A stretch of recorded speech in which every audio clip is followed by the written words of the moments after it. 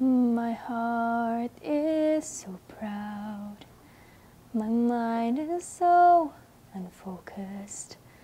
I see the things you do through me as great things I have done.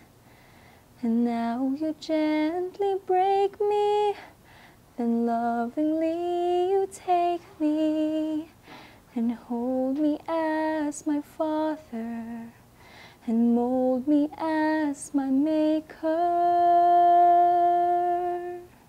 I ask you, how many times will you pick me up when I keep on letting you down? And each time I will fall short of your glory, how far will forgiveness abound? And you answered, My child, I love you.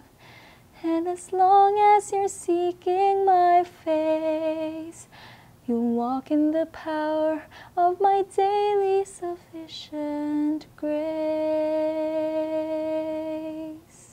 Let us continue to pray for the Holy Spirit in fighting against all odds, keeping us away from harm, and keeping us safe for all time.